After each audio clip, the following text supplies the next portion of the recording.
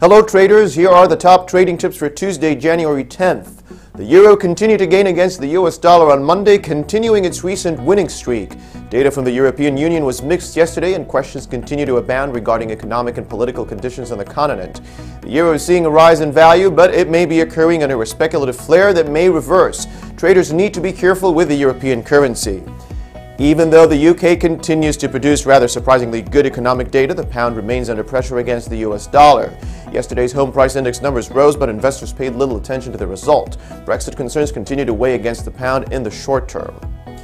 Crude oil had been enjoying stability the past month. That changed yesterday when Iraq announced it may increase production. The price of crude oil declined on the news, but the price did not fall dynamically and did manage to hold its recent value range. Crude oil will remain an interesting trading ground today. Thanks for watching. Have a great trading day.